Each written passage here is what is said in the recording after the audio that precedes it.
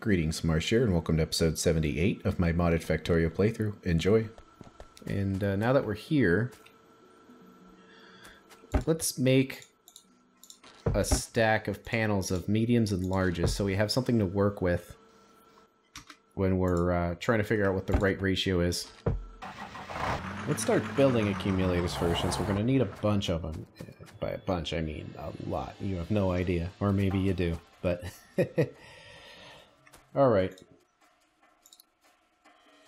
So the type we're going to build are the high capacity accumulator. The recipe is the same, just iron and batteries. So we are making a total of, let's find out how many batteries. Imagine that's going to be the limiting factor. One battery every 5 seconds times 1.25 times 12. Three batteries per second. This machine is going to take 10 batteries every 10 seconds times 0.75. So we can support four assembly machines making accumulators.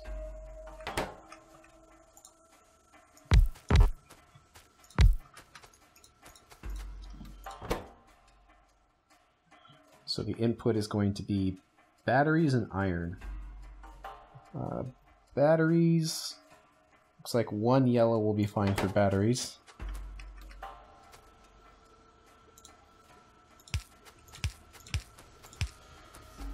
And one yellow will be fine for iron. I think the iron's going to come in on the outside.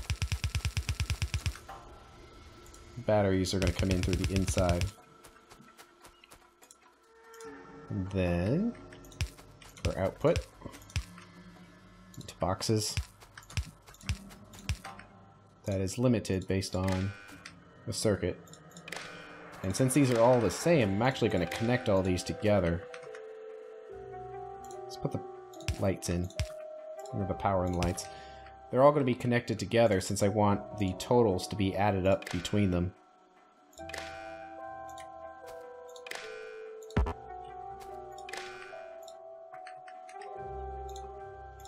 And uh, let's set these to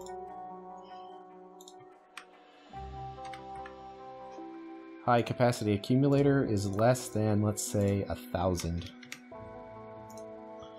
Turn on. Of course, they all want to turn on. There we go.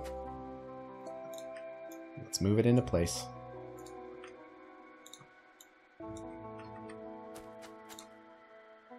Two spaces over.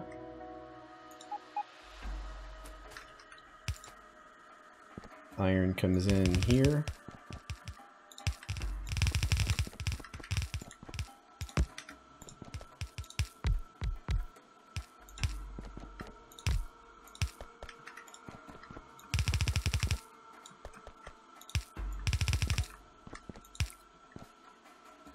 Freshly minted batteries.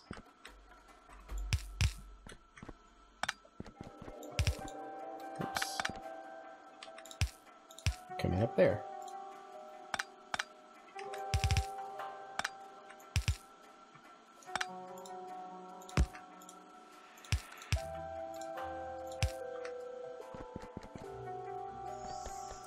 And connect the power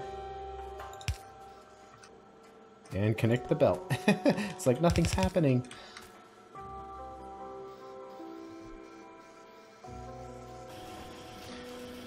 Okay. Let's click some of those solar panels. Can turn this off now. Hopefully that's enough panels. So let's build what we had before.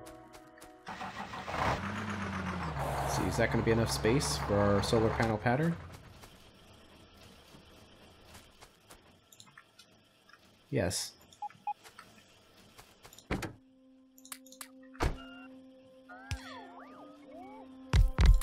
Now to save a little bit of effort, I'm not going to place the small solar panels and you'll see why in a second.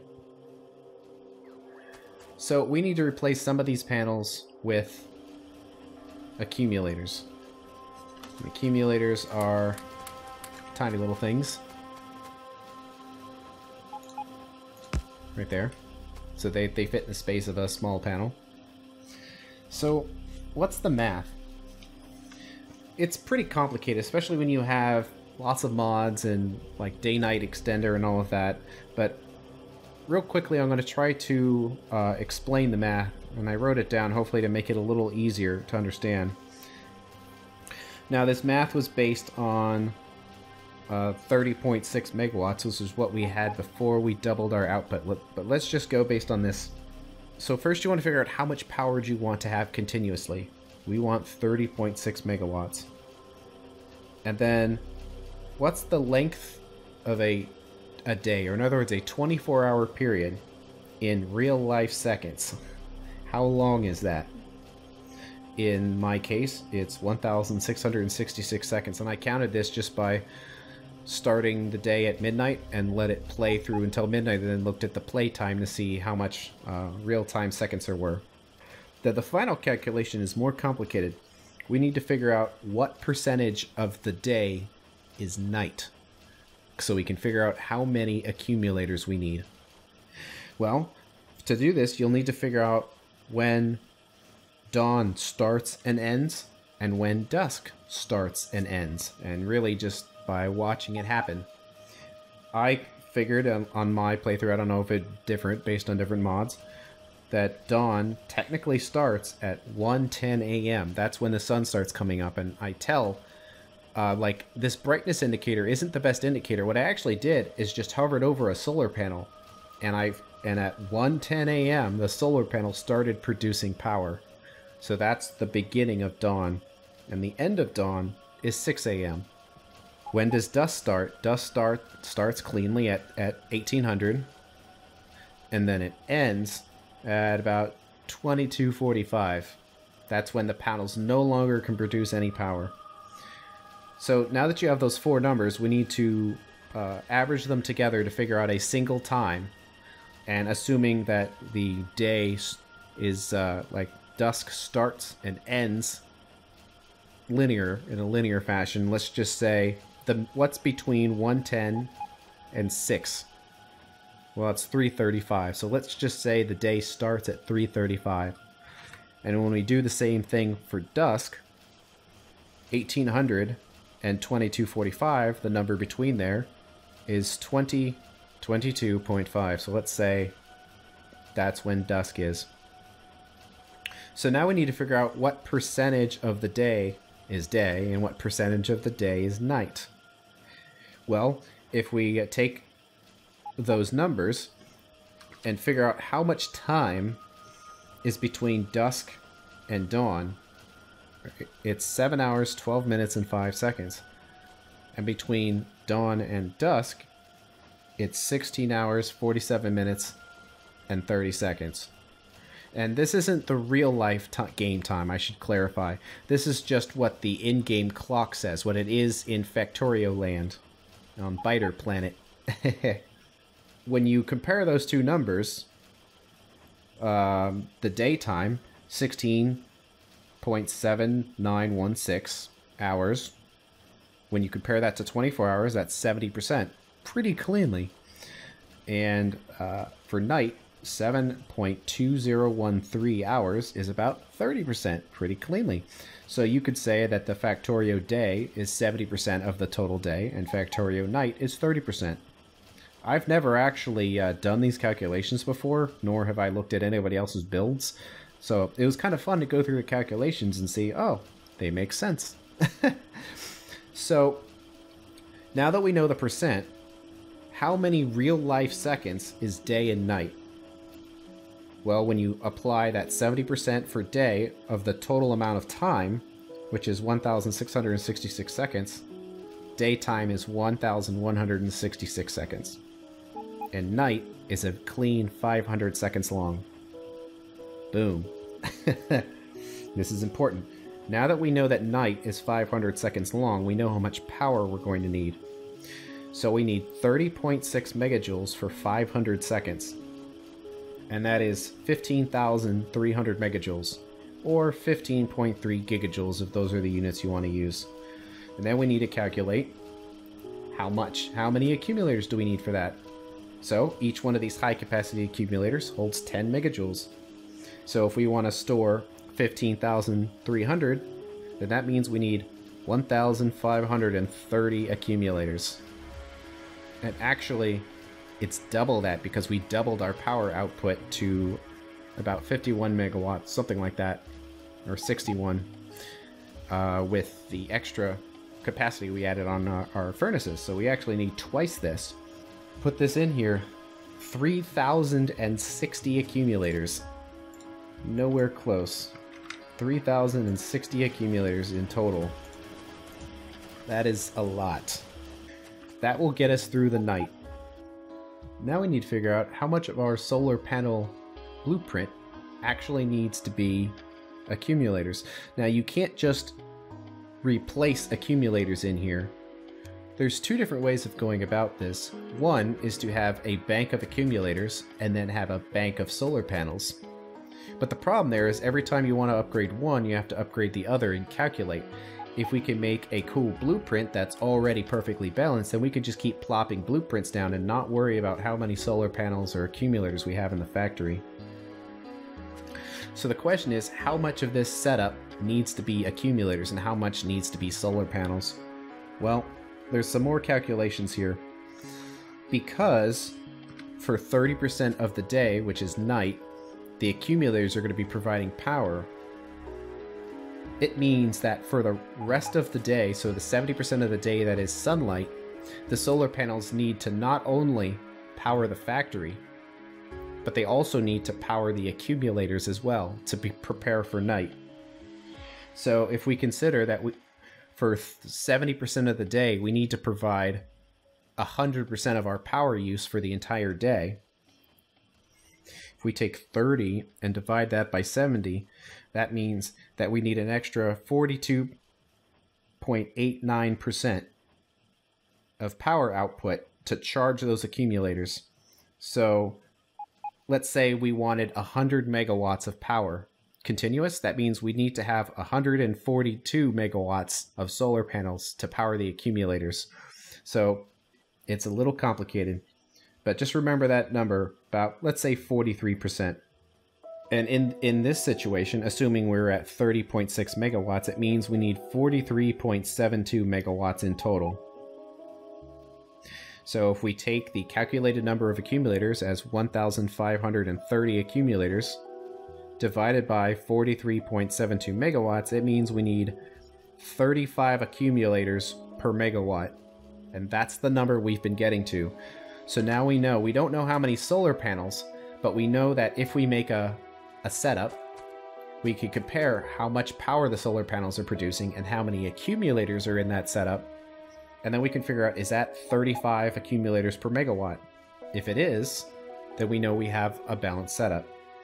And rather than showing you me just clicking around trying to make it work, I already figured that out ahead of time. So let me show you how I did it. We're going to need a bunch of accumulators, which we do have. Meanwhile, though, with all that talking, it looks like things are running smoothly. All the machines are still green, so... So far, so good. Well, we're going to want to replace all of these with accumulators. Including the space in there. Now they're going zappy zappy because they're being charged by the panels here. And again, you also have to be considerate of you can't put something there because the poles don't reach. So you can replace all of those. Replace all of those. And these.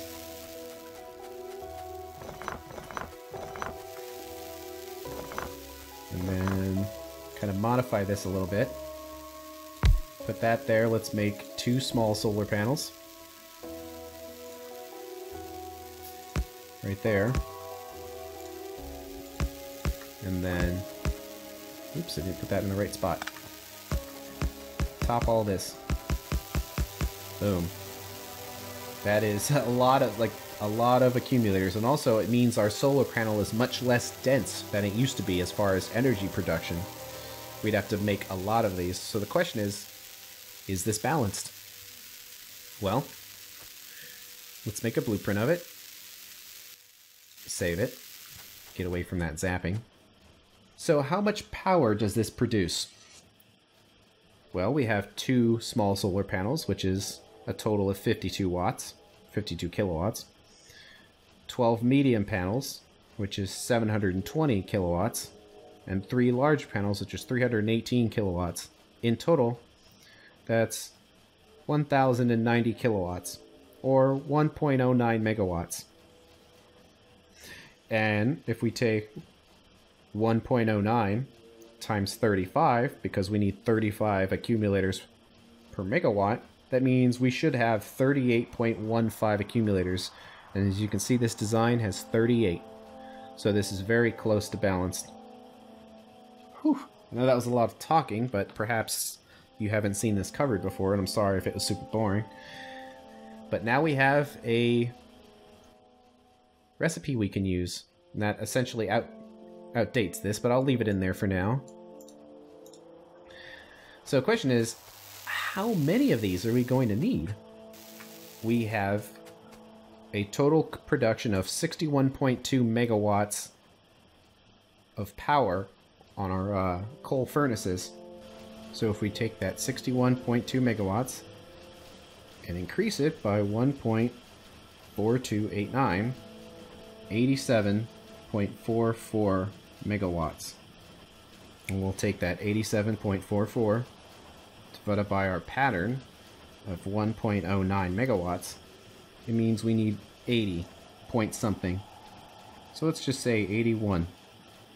So 81 patterns times 38 accumulators is 3,078. So 3,078.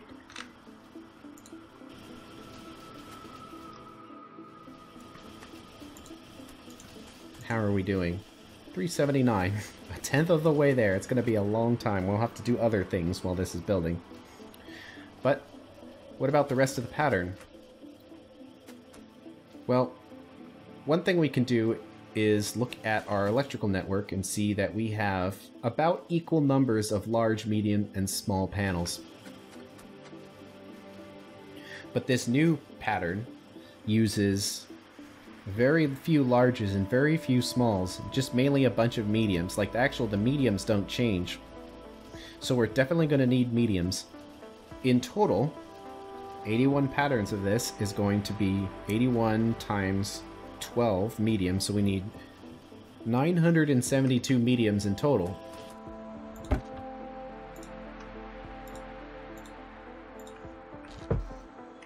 But we already have 180 on the network. So that's 792. So we need 792 mediums. What about larges? Well, 3 times 81 is 243. But we already have 150. So that's 93 extra larges.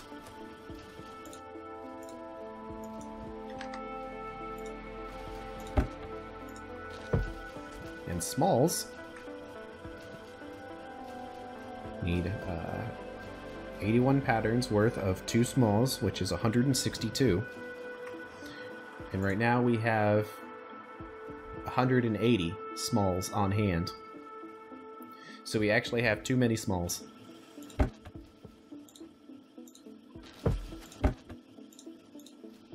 So there we go. That was a, a bit of a roundabout way of calculating things, or maybe not, but that's what we need to do. Now, upgrading these panels is going to require a little bit of thought. And the reason is because if we just come in here and start picking panels up and replacing them, we're not going to have enough solar power for our factory because we're actually reducing the number of available panels because we're replacing them with accumulators. So actually we want to put extra we want to put extra copies down and only replace those original copies uh, once we've placed everything else that we need, if that makes sense. So let's pick some stuff up and replace a few. That's all the time we have for today, so I'll see you on the next episode. Thanks for watching.